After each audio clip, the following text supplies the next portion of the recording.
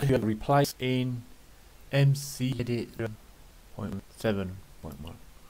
So what you want to do is when you mount top off, and you want to regreen it so it doesn't look weirdy like this, like but you don't want a big green slab filling like this because it looks a bit looks a little bit odd, doesn't it? Uh, oops. So what you do, what you do, is you um, carve out your area, however big you want.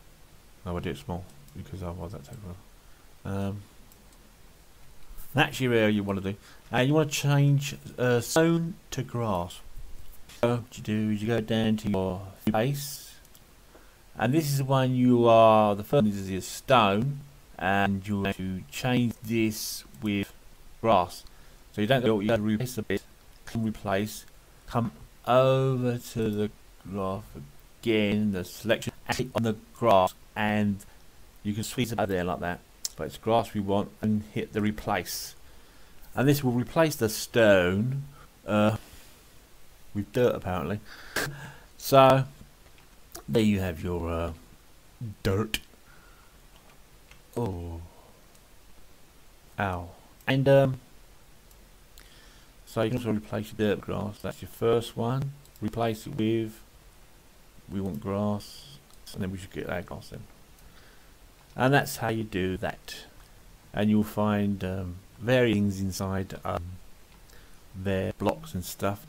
So it'll also work for replacing snow, and you can change sand, sand areas to grass areas and such. Uh, we're just you know, this is a bit mess over here, so it's like change this area to grass.